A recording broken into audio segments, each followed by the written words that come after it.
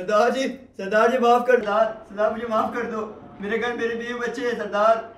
सरदार सरदार मुझे छोड़ दो, सरदार सरदार मेरे घर मेरे बीवी बच्चे हैं, सरदार मुझे माफ़ कर दो।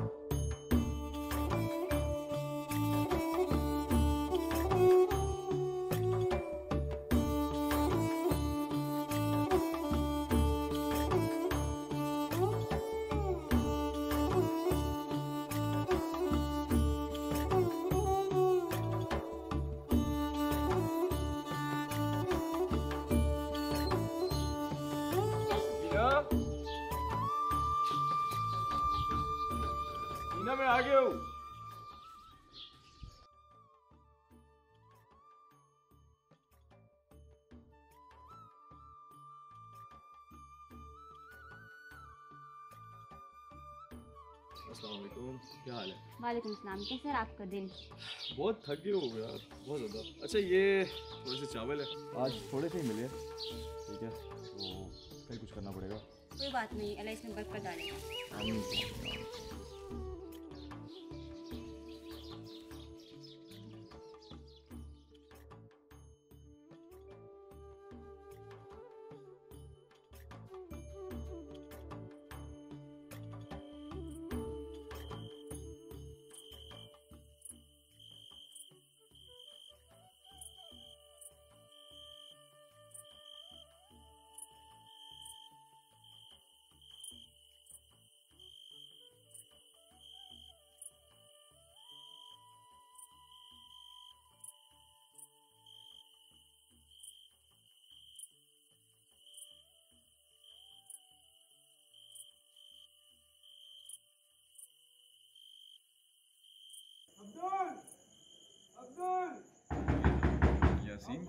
लग रही है। हैं? बाहर जाके देखिए क्या हुआ अल्लाह आपको मुसीबत ना आई हो। एक मिनट में जाके देखता खैर करे हाँ जी क्या हो गया? अब्दुल। हाँ जी यासीन भैया क्या हुआ? अब्दुल। क्या हुआ? मार दिया यार। किसको? मार दिया। क्या किसको मार दिया? क्या हो गया? आओ इधर आओ बैठो। क्या हुआ? मार दिया उसे। बैठो बैठो क्या हो गया? क्या हुआ? तेरे मार दिया उनने। किसने? रशीद लाला को मार दिया। उनको मार दिया यार। किसने मारा? ये सरदार खान।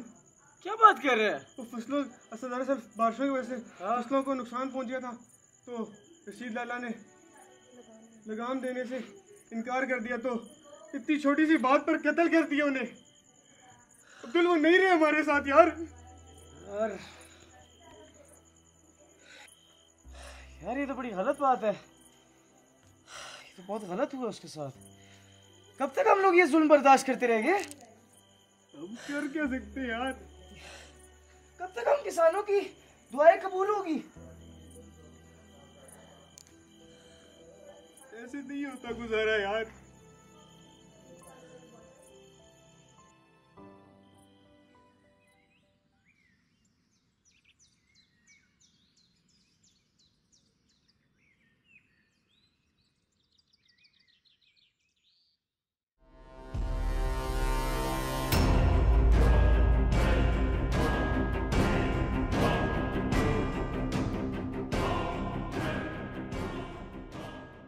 खबर तो मिल गई होगी तुम सब कीड़े मकोड़ों को।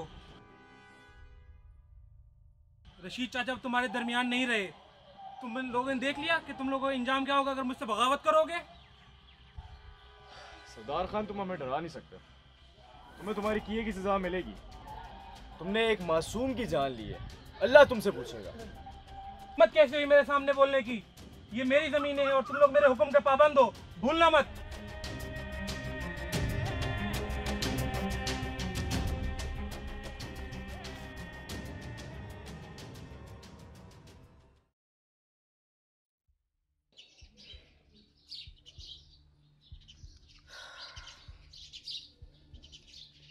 सरदार खान को अपने साथ ऐसा सलूक नहीं करने दे सकते। हमें लड़ना होगा और काम जल्द से जल्द करना पड़ेगा। आप सही कह रहे हैं। हमें अपने हकूक़ के लिए लड़ना होगा और इसके लिए हमें सारे गाँव वालों को इकट्ठा करके उनसे बात करनी होगी। क्या तुम लोग सरदार को जानते नहीं हो? उसने रशीद लाला का कैसे बेहिसी से कत्ल कर दिया था। क्या तुम लोगों को अपनी ज़िंदगी प्यारी नहीं है? तुम उसकी फ़िक्र ना करो। हमें अपने इंसाफ के लिए लड़ने दो। चाहे उसके लिए अपनी जान भी चली जाए तो क्या है? और हाँ तुम ठीक कह रही हो। हमें जल्द अज जल्द एक मज़बूत तहरीक बनानी चाहिए।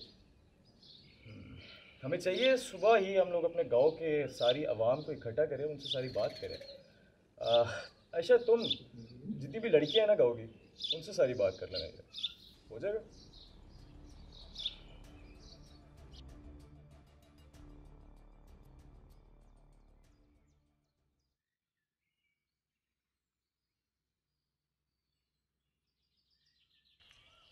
और बहनों, हम गुलाम नहीं है, हम किसान हैं। माना हमारे पास इतनी ताकत नहीं है, इतना पैसा नहीं है कि हम सरदार खान के साथ एक जंग कर सके। लेकिन हमारे पास वो हिम्मत है, हमारे पास वो ताकत है कि हम अपना हक वापस ले सके। हमें इस लड़ाई के लिए जल्द से जल्द तैयार होना पड़ेगा। हमें अपने हक के लिए खड़ा होना पड़ेगा और सरदार से लड़ाई करनी पड़ेगी। तुम लोगों में से कौन है हमारे साथ? अगर आज मैं तुम्हारे कहने पे सरदार के खिलाफ खड़ा हो रहा हूँ तो कल तुम क्या इस बात की गारंटी दे, दे रहे हो कि कल वो हमें और हमारी फैमिली को नुकसान ना दे? क्या तुम इस बात की गारंटी दे रहे हो? मैं इसके हक में नहीं हूँ मैं सरदार के खिलाफ खड़ा नहीं हो सकता। अब्दुल सही कह रहा है।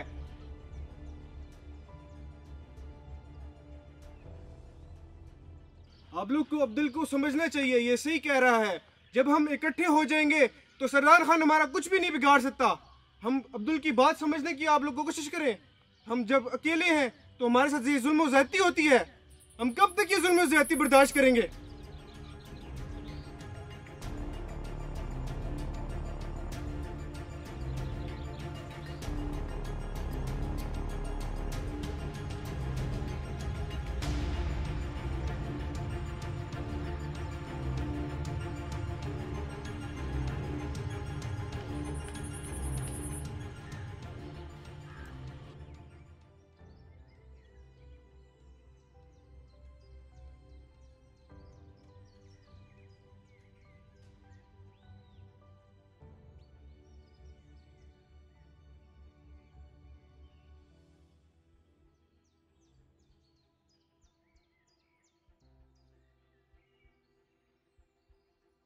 आप हिम्मत मत हारें। हम लोगों के घर जाकर उनको समझाएँगे। ये सब सरदार से डरे हुए हैं। इनके दिलों से हमें सरदार का खौफ निकालना होगा। हम पीछे नहीं हटेंगे। हम नहीं चैन लेंगे जब तक हम इनको समझा नहीं लेते।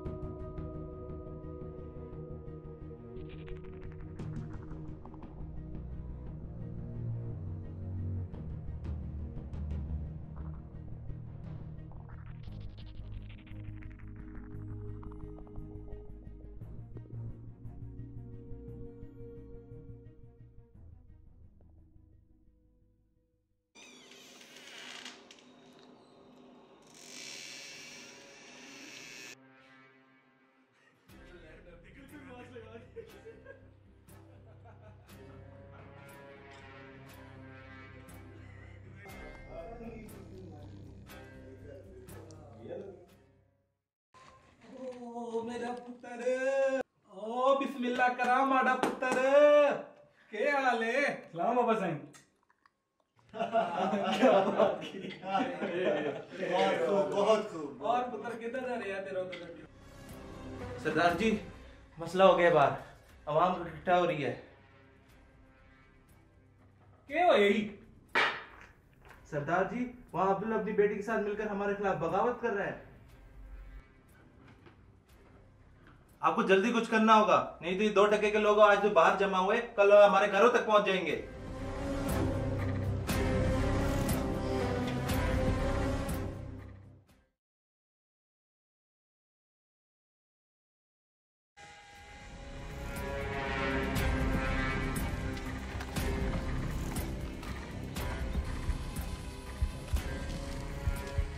तुम लोगों की हिम्मत कैसे हुई मेरी जमीनों पर काम करने की मेरी इजाज़त के बगैर? अरखान ये ज़मीन हमारी है। तुम इधर क्या कर रहे हो? यहाँ पे मेरे बाप दादा सदियों से राज करते आ रहे हैं। तुम लोग कितने बेवकूफ़ हो किसान लोग। तुम लोग खेती बाड़ी करते हो और मैं इसका फ़ायदा उठाता हूँ। अगर आइंदा तुम लोगों ने यहाँ पे अपनी मनमानी की करने की कोशिश की तो तुम्हारा हाल भी रशीद चाचा जैसा होगा। हम तुम्हारे गुलाम नहीं है सरदार खान।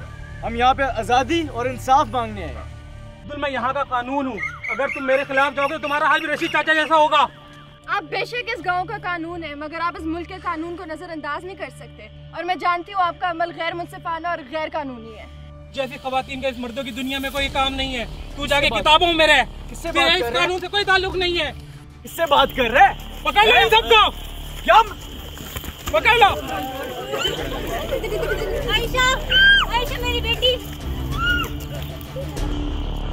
मेरी बेटी।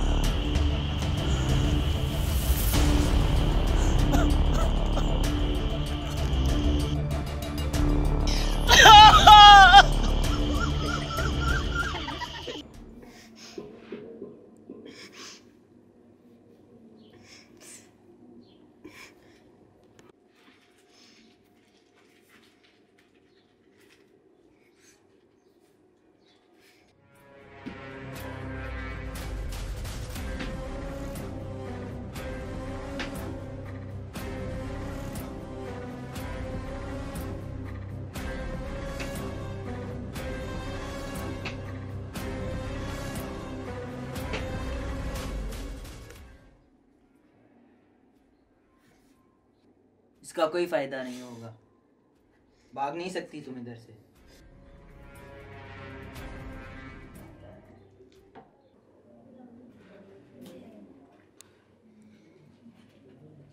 सलाम बाबा साहब। नाम पुत्र। तुमने मेरा मुकाबला करने की कोशिश कैसे की लड़की? तुम्हारी बगावत की कीमत तुम्हारा बाप चुकाएगा। मेरा बाप तुम्हारी धमकियों से नहीं डरता।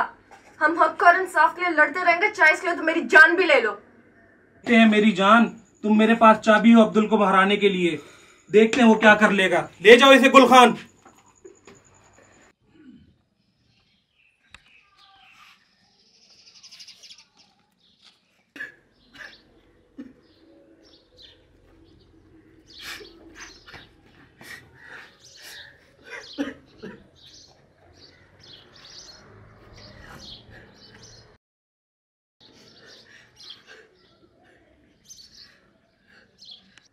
मैंने तुम लोगों को मना भी किया था कि सरदार के मुखालिफ मत जाओ। वो हमें बर्बाद कर देगा। अब देखो मेरी जवान बेटी उसके कब्ज़े में है। वो पता नहीं उसे कैसे पेश आ रहे होंगे। हाय मेरी आयशा। नहीं सकीना आयशा आयशा बहुत ज़्यादा बहादुर है। और मुझे पता है वो अपने साथ ऐसी कोई हरकत नहीं होने देगी। आपने हिम्मत नहीं हारनी। आशा हमारी भी बेटी थी। हम इंशाल्लाह सरदार के चुंगल से आपकी बेटी को आज़ाद करा लेंगे।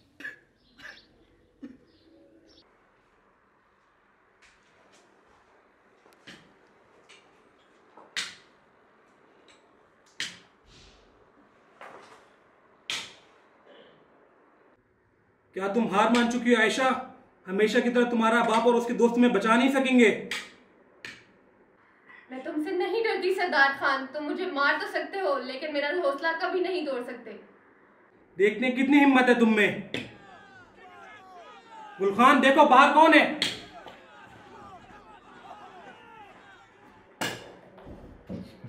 सरदार जी सरदार जी वो गाँव वालों ने हमला कर दिया हम पे। सरदार खान! मेरी बेटी को छोड़ दो सरदार खान।